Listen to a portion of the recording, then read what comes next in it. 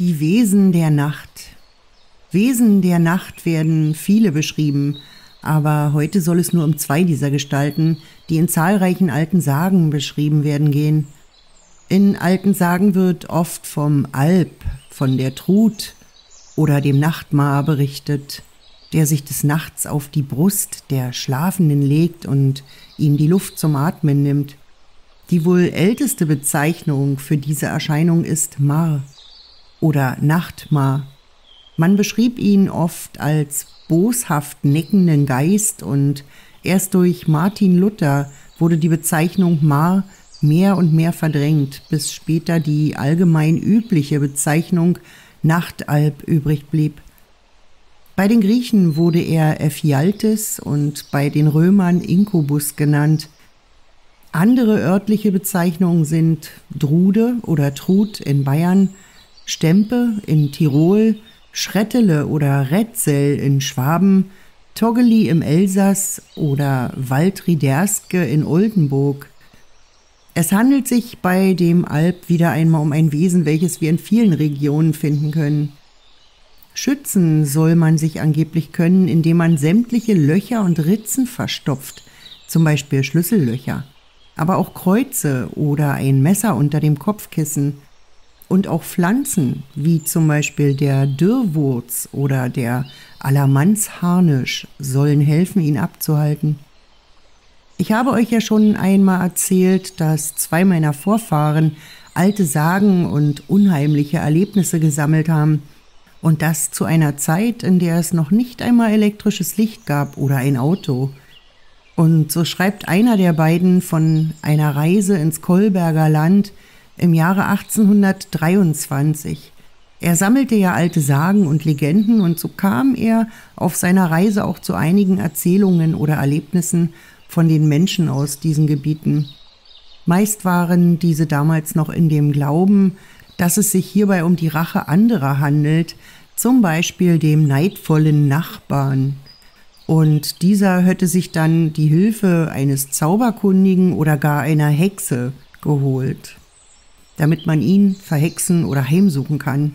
Und so ist aus dieser Zeit ein Bericht über das Erscheinen des Mars oder des Alps erhalten, aus der Region um Kolberg-Körlin, welche im heutigen Polen liegt. Dort lebte ein Ehepaar, welches einen Hof bewirtschaftete, auf dem mehrere Generationen lebten. Der Mann war Bäcker und versorgte die dörfliche Gemeinschaft mit Brot und anderen Backwaren, er litt schon sehr lange am keuchenden Atem. Also ich nehme an, er wird eine Art Asthma oder Bäckerasthma gehabt haben und es pfiff und keuchte in manchen Nächten arg in seiner Brust. Eines Nachts, die Eheleute schliefen tief und fest, keuchte er wohl so laut, dass seine Frau davon erwachte. Sie drehte sich zu ihm um und erblickte über ihm im Schein des dahinterliegenden Fensters einen schwarzen großen Schatten. Sie wollte ihren Arm ausstrecken, um ihn zu rütteln und zu wecken, aber sie war unfähig, auch nur einen einzigen Finger zu rühren. Mit großer Angst konnte sie den Blick von diesem Schatten nicht abwenden, und er zeichnete sich immer deutlicher, als ihr Auge sich an die Dunkelheit gewöhnte, für sie ab. Ein buckliges, schwarzes, großes Wesen saß da auf ihrem Manne, und sie bemühte sich immer wieder, sich zu bewegen, und dann gelang es ihr. Sie rollte sich wohl aus dem Bette und rannte aus der Tür, um ein Licht zu holen. Und als sie damit wieder in den Schlafraum kam, sah sie, wie sich dieses Wesen mit den großen Händen das Gesicht schirmte gegen das Licht. Und sie schrie diesem Ding mutig zu, dass es zur Hölle fahren solle, und es schwebte vor ihren Augen zur Zimmerdecke hinauf und löste sich dort einfach auf. Der Atem des Mannes rang laut nach Luft, und er saß in seinem Bette und hielt sich den Hals. Sie kamen beide nicht mehr in den Schlaf, und so verließen sie das Haus, um dass ihr Mann an der frischen Luft wieder zu normalem Atem kommen konnte. Er berichtete, dass er sich dieser Gestalt nicht erwehren konnte, so sehr er sich auch bemühte, er konnte sie nicht abschütteln und er konnte sich nicht bewegen. Aus dieser Angst heraus wurden dann Kreuze unter die Kissen gelegt und an den Wänden aufgehangen, um nie wieder diesen Teufel erblicken zu müssen. Ja, und die nächsten beiden sind wohl jedem bekannt. Die Brüder Jakob und Wilhelm Grimm beschäftigten sich auch in ihrem deutschen Sagenbuch mit dem Alp und sie schilderten Folgendes. Wenn gleich vor den Alpen Fenster und Türen verschlossen werden, so können sie durch die kleinsten Löcher doch hereinkommen, welche sie mit sonderlicher Lust aufsuchen. Man kann in der Stille der Nacht das Geräusch hören, welches sie dabei an der Wand machen. So steht man nun geschwind auf und verstopft das Loch. So müssen sie bleiben, können auch nicht von dannen, selbst wenn die Tür oder Tor geöffnet werden. Man muss ihnen hierauf ein Versprechen abnehmen, dass sie diesen Ort niemals wieder besuchen wollen, bevor man sie in Freiheit setzt. Sie haben bei solchen Gelegenheiten erbärmlich geklagt. Der Trud oder Alp kommt oft von sehr weit her bei seinen nächtlichen Besuchen. Einstmals sind Hirten mitten in der Nacht im Felde gewesen und haben nicht weit von einem Wasser ihre Herden gewartet. Da kam ein Alp. Er stieg in den Kahn, löste ihn vom Ufer ab und ruderte mit einer selbst mitgebrachten Schwinge hinüber, steigt alsdann aus, befestigt den Kahn jenseits und verfolgt seinen Weg. Nach einer Weile kehrte er zurück und ruderte wieder herüber. Die Hirten aber, nachdem sie solches mehrere Nächte beobachteten und es geschehen lassen, beredeten sich diesen Kahn wegzunehmen. Wie nun der Alp wiederkam, so hebt er kläglich an zu winseln und droht den Hirten, den Kahn gleich herüberzuschaffen, wenn sie Frieden haben wollten, welches sie dann auch tun müssen. Jemand legte sich, um den Alp abzuhalten, eine Hechel auf den Leib, der Alp drehte sie gleich um und drückte ihm diese spitz in den Leib. Ein besseres Mittel ist es, die Schuhe vor dem Bett umzukehren, also dass die Hacken das Spannbett am nächsten bei sich haben. Wenn er drückt und man kann den Daumen in die Hand bringen, so muss er weichen.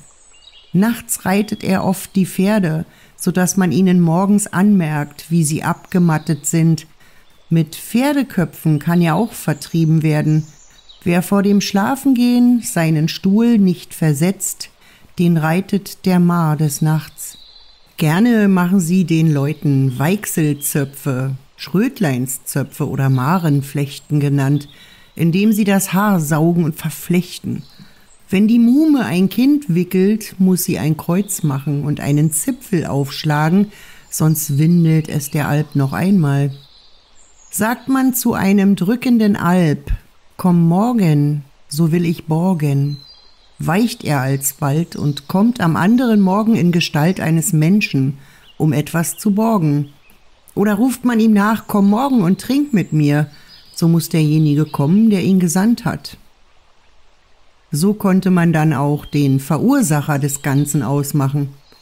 Nach Pretorius stoßen die Augenbrauen des Mars in gleichen Linien zusammen. Andere erzählen, dass Leute, denen die Augenbrauen auf der Stirne zusammengewachsen sind, anderen, wenn sie Zorn oder Hass auf sie haben, den Alp mit bloßen Gedanken ausschicken können. Es kommt dann aus der Augenbraue etwas heraus, was aussieht wie ein kleiner weißer Schmetterling und setzt sich auf die Brust des anderen Schlafenden. Aber es gibt ja noch mehr Wesen der Nacht, wie zum Beispiel den Werwolf. Und über ihn hat Ludwig Bechstein in seinem deutschen Sagenbuch von 1853 geschrieben, viel weiß des Volkes Glaube und Aberglaube an den Ostseeküsten und dann weit hinab und hinauf in West- und Ostpreußen, in Litauen und bis nach Polen hinein ja bis Serbien, Bosnien und der Türkei, von dämonischen Wesen zu erzählen und ließen sich davon alleine ganze Bücher füllen. Der Werwolf ist gedacht als ein Mensch, der durch Zaubermittel sich zur Nachtzeit in ein reißendes Tier, insgeheim in einen Wolf verwandelt und Menschen und Vieh anfällt. um ihnen das Blut warm aus dem Herzen zu saugen. Was der Werwolf so im Freien und an Wachenden übt, das tut der Vampir in den Gemächern an den Schlafenden. Der Werwolf wandelt noch unter den Lebenden. Der Vampir ist ein Abgeschiedener, der seinem Grabe entsteigt und die Menschen wirkt. Das ist beider Gemeinsames und Besonderes, aber die Verwandtschaft ist noch enger begründet. Stirbt nämlich ein Werwolf, dann wird auch er ein Vampir und kehrt mordend aus dem Grabe wieder mit nie gestilltem Durst nach dem Blute der Lebendigen zurück. Ein Jäger aus Danzig beginn abends sein Revier und sah sich plötzlich von einem ungewöhnlich großen Wolf angefallen. Da er aber nicht unvorbereitet war, so schoss er und seine Kugel zerschlug dem Wolf den rechten Vorderfuß. Mit lautem Geheul ergriff der Wolf hinkend die Flucht. Der Jäger aber folgte seiner Spur, und nachdem er von neuem seine Büchse geladen hat, denn er wollte sich im Besitz des schönen Wolfspelzes setzen, und die Spur leitete ihn bis zu einer Hütte im Wald und in diese hinein. Da fand er eine Frau und einen Mann, und die Frau verband des Mannes rechte Hand, die von einer Kugel zerschmettert war. Der Jäger zeigte diese Sache an und der Mann ward eingezogen, bekannte, dass er ein Werwolf sei und wurde lebendig verbrannt. Auch im Dorfe Grabau, nahe bei Danzig, nach der Küste zu, begann einmal vor noch nicht allzu langer Zeit ein allgemeines Sterben und besonders wurden Jungfrauen in der Blüte ihres Lebens hingerafft. Und jede so schnell gestorbene hatte am Herzen ein kleines Wundmal. Da fielen endlich die Dorfältesten auf den Gedanken, es möge sich wohl um einen Vampir auf dem Kirchhof handeln und ließen alle Gräber und Särge öffnen. Da fand sich auch ein Leichnam. Der war nicht verwest, gleich den anderen, sondern Nägel und Barthaar waren ihm frisch gewachsen, und an seinen Lippen zeigte sich die Spur frischen Blutes. Das Haupt des Toten wurde mittels eines Grabscheites vom Körper abgestoßen und das Herz wurde gepfählt. Danach wurde er zu Asche verbrannt. Dann hörte das Sterben auf. Vor Herzog Albert in Preußen wurde einst von den Bauern ein Gefangener gebracht und beschuldigt, derselbe sei ein Werwolf. Da befahl dieser Herzog, ihn genau zu beobachten und ob und wie er sich in einen Wolf verwandle. Und der Gefangene gestand ohne Zwang, er werde alljährlich um das Johannisfest und um Weihnachten ganz wild. Es wüchsen ihm unter großen Schmerzen Wolfshaare und er bekomme einen heftigen, unbändigen Trieb, Menschen und Tiere zu zerfleischen. Daher mochte er wohl den Bauern einige Enten und Gänse, vielleicht auch Schafe zerrissen haben, eine Verwandlung des Gefangenen konnte aber nicht beobachtet werden.